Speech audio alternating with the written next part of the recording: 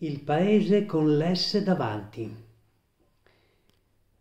Giovannino per di giorno era un grande viaggiatore.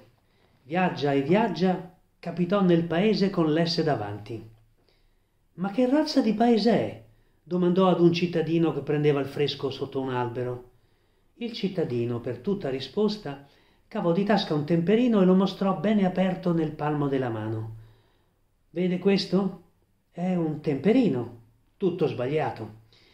È uno stemperino, cioè un temperino con l'S davanti. Serve a far ricrescere le matite quando sono consumate ed è molto utile nelle scuole. Magnifico, disse Giovannino. E poi? Poi abbiamo lo staccapanni. Vorrà dire l'attaccapanni. L'attaccapanni serve a poco se non avete il cappotto da attaccarci. Con il nostro staccapanni è tutto diverso. Lì non bisogna attaccarci niente, c'è già tutto attaccato. Se avete bisogno di un cappotto, andate lì e lo staccate. Chi ha bisogno di una giacca non deve mica andare a comprarla.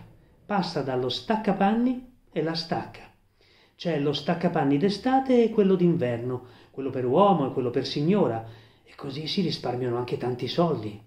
Una vera bellezza. E poi? Poi abbiamo la macchina sfotografica che invece di fare le fotografie fa le caricature, così si ride.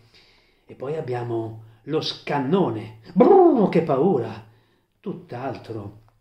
Lo scannone è il contrario del cannone e serve per disfare la guerra. E come funziona?